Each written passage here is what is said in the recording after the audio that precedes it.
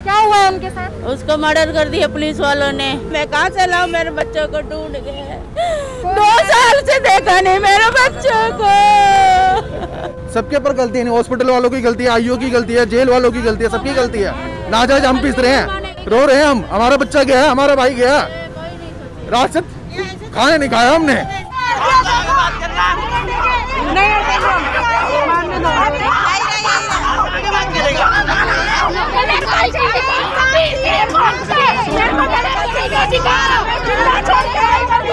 मेरे भाई कल छूटने वाले थे आज छूटने वाले थे। कल इन्होंने जेल प्रशासन ने मरवा दिया आर एन मीना। और रोज ही जेल में मर्डर होता है। उसको बाँध के मारा गया है गंदी तरीके से। बोलता था पचास हज़ार मंगवा ले बीस हज़ार मंगवा ले जेल में। मेरा भाई बोलता हम गरीब आदमी हम कहाँ से पैसे मंगवाएँगे? नमस्कार मैं रिया। और आप देख रहे हैं झलको दिल्ली। तिहाड़ जेल में एक कैदी जिसे दो साल से रखा जा रहा है, उसकी मृत्यु हो जाती है, उस पर हमला कर दिया जाता है।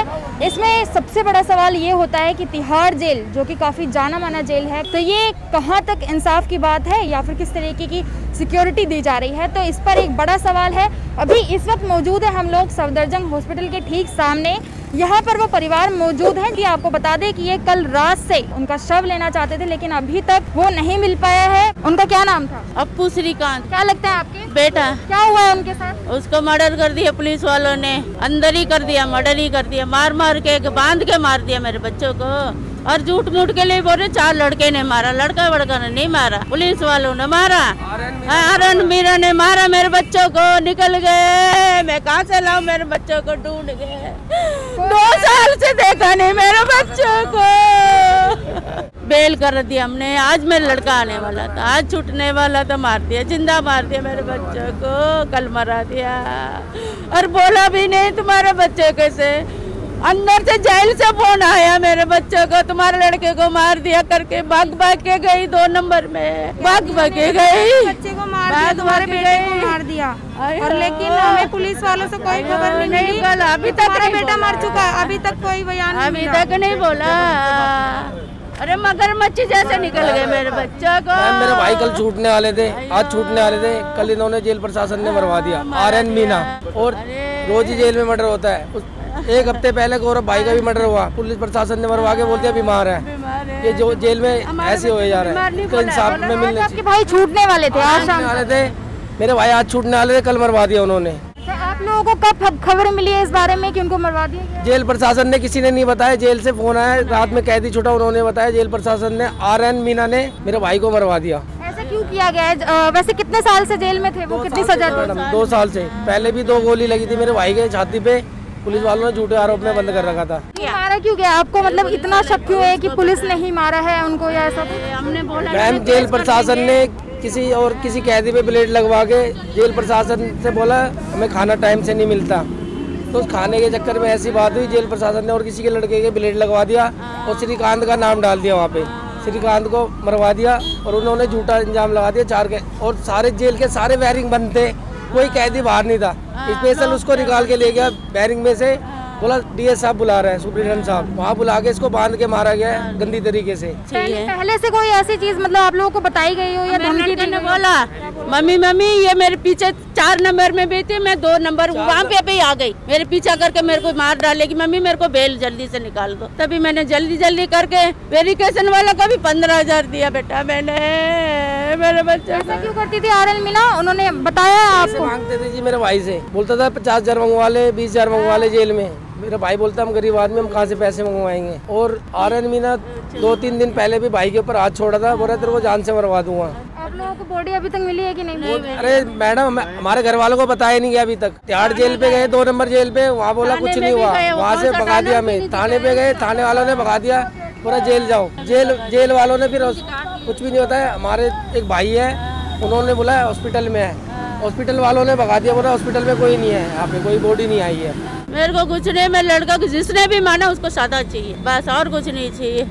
मेरा आत्मा को मेरा लड़के का आत्मा को शांति मिलेगा तभी। नहीं तो नहीं मिलेगी। प्रशासन ने बिज़नेस खोल रखा है पचास हज़ार एक लाख रुपए लेके किसी का ही मर्डर करवा बना दिया रखा धंधा पैसे चाहिए उन लोगों को जिस जिसका बेटा गया पहले एक नंबर जेल में सन्नी डोगरा का मर्डर करवाया था सुपरिटेंडेंट ने दो लाख रूपए लेके बेखामती में मरवा दिया। मैडम ये इन्होंने बिज़नेस खोल रखा है। पैसे मिलते एक लाख दो लाख रूपए जिस मर्ज़ी का मर्डर करवा देते जेल प्रशासन। अच्छा जैसा आप बता रहे हैं कि जो प्रिंट मीडिया है उसमें दिया गया है कि कैदियों के बीच में मुठभेड़ हुई थी इस वजह से। कोई मुठभेड़ नहीं है मैडम। नहीं हुआ सारे कैदी लोग थे तो पूरा बंद था बेटे का बस कोई मेरा रात मारेगा में रात में पंद्रह कैदी छूटे थे उन्होंने बताया हमें। सबको अलग अलग रूम दे रखे थे लिए। मेरे लड़के को अलग रखते थे। अलग उसको अलग रखते थे मैडम। सेपरेट ले रखा था उन्होंने उसको खतरा था थोड़ा उन्होंने सेपरेट ले रखा सेपरेट से निकाल के उसको लेके गया साहब बुला रहे हैं। फिर मार पहले आप लोगों के पास आप कह रहे हैं कि फ़ोन वगैरह भी उनके पास रहते थे। पहले ऐसा कुछ उन्होंने बताया कि मेरे साथ ऐसा हो रहा है? तीन दिन पहले बोला था मैडम। चार नंबर में भी बताया बेटा। क्या बताया? दो दो पाँच मिनट के लिए फ़ोन आता है। मम्मी मेरे जान का खतरा है माँ। मेरे को बेल हाई कोर्ट में लगाया बेटा मैंने बेल वहाँ कैंसिल हो गया। पचास हज़ार मांग रहे ताइयो दे दो मैं वो नहीं लगाऊँगा। नहीं है 15,000 पैसे कहाँ से तो बेल लग गया था पंद्रह हज़ार रुपये दिए शकूरपुर थाने में आईओ को। बेल लग गया बेल लगते ही उनको पता लग गया जेल प्रशासन को। अप्पू छूटने वाला है आज। उससे पहले अप्पू भाई को मारे मरवा दिया। अच्छा और वैसे किस आरोप में उनको अंदर रखा गया था? पुलिस मुठभेड़ में झूठे मुकदमे पुलिस मुठभेड़ में बंद कर रखा है इनको और इनके ऊपर स्नैचिंग बानवे लगा रखा है। हाई कोर्ट तक जाऊँगी मैं सीआई भी लगाऊँगी मैं। मेरे लड़के को क्यों मारा? अच्छा आप लोगों ने बॉडी को देखा है क्योंकि बता रहे हैं। शक्ल भी नहीं देखा है शक्ल भी नहीं देखा मेरी दीदी ने। अभी तक। फिर कैसे पता चला आप लोगों को मारा गया है?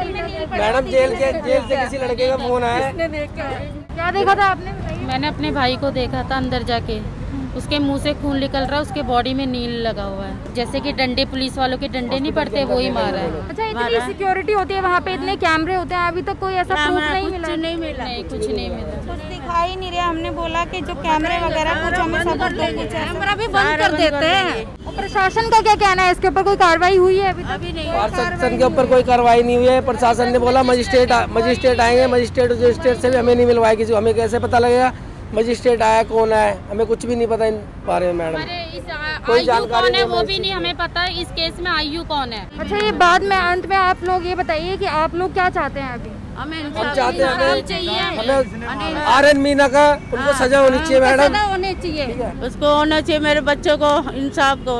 मैं श्रीकांत का छोटा भाई हो। हम इससे पहले भी हमने मर्डर में केस काटा, हमें झूठा केस में फंसाया गया। उससे हमें हाईकोर्ट से बरी करवाया हमने केस वो। रोहिणी सेक्टर 20 वाले क्राइम ब्रांच के थे। ठीक है मैडम? उससे उसके बाद भी इन्होंने बाहर से मुठभेड़ दिखा के गोली मार के भाई को दोबारा अंदर करवाया। अब दोबारा इन्होंने चार नंबर जेल से दो नंबर जेल में भेजा।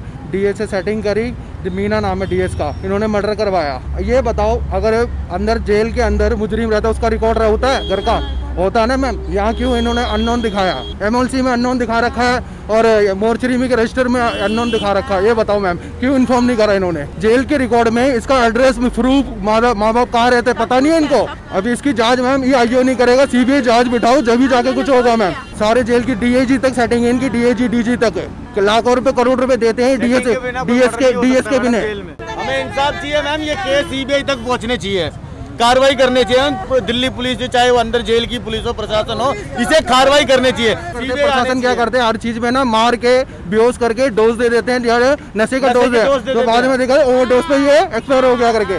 ये दिखाते ही। हैं उससे जो डॉक्टर लेके आया उस डॉक्टर से मेरी बात हुई थी। मैं भी दीनदयाल में काम करता हूँ मैं। पाँच साल हो गया। जो डॉक्टर वहाँ से लेके आया ना और रास्ते में दम तोड़ा है वो। अगर ये गुरु गोविंद लगता है वहाँ का अरे चलो दीनदयाल तो कोविड बना रखा है। गुरु गोविंद लगता है ना गुरु गोविंद क्यों नहीं ले गए? क्यों नहीं गए। ये पिछले बार भी शकरपुर से यहाँ ले आए मारने के लिए। जहाँ पर लगातार आप देख रहे हैं कि देश में कोरोना की कितनी नाजुक स्थिति बनी हुई है ऐसे में आप देख रहे हैं कि प्रशासन में कितनी लापरवाही देखी जा रही है। जहाँ पर तिहाड़ जेल जैसी जगहों पर इतनी सुरक्षा बताई जाती है बड़े से बड़े अपराधियों को वहाँ पर कैद किया जाता है। लेकिन जहाँ पर आप देख रहे हैं कि बीती घटना घट चुकी है इनके परिवार वालों से जुड़े हम लोगों ने बातचीत करी कि आज ही उनकी बेल होने वाली थी।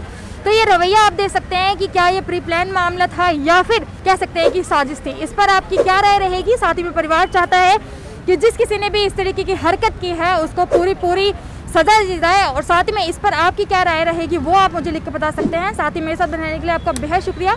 आप देख रहे थे दिल्ली की एक खास रिपोर्ट, मैरिया कैमरा पर्सन राजा के साथ झलको दिल्ली।